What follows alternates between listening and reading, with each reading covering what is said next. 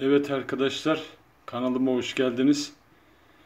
Ee, daha önce sizlere patates, soğan bozulmadan, filizlenmeden nasıl saklanır onun videosunu yapmıştım.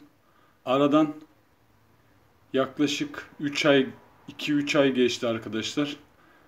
Patates ve soğanlarımızın durumunu görüyorsunuz. En ufak çillenme, bozulma, filizlenme yok arkadaşlar koyduğumuz şekilde duruyor arkadaşlar.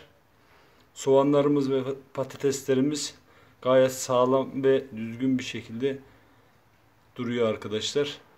Sizlere bunu göstermek istedim. Siz de altına kağıtları şu şekilde tekrar göstereyim.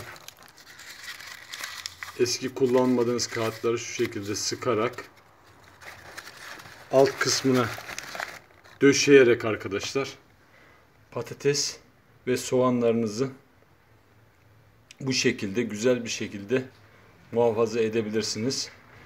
Dediğim gibi altına kullanmadığınız kağıtları sıkarak döşüyoruz. Üstüne soğanları ve patatesleri ayrı bir şekilde hatta ayrı bir kartona kutuya olursa daha güzel olur. O şekilde saklarsanız arkadaşlar daha daha iyi olur. Ama yine de yan yana da olsa tek sıra halinde dizerek de güzel bir şekilde muhafaza edebilirsiniz arkadaşlar. Karton kutuya koyuyoruz arkadaşlar. Dediğim gibi tek sıra ayrı bir şekilde diziyoruz. Böylelikle muhafaza ediyoruz. Sizlere sonucu da göstermek istedim. Umarım videomu beğendiniz. Kanalıma abone olmayı unutmayın arkadaşlar.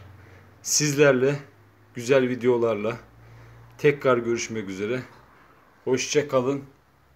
Sağlıcakla kalın arkadaşlar.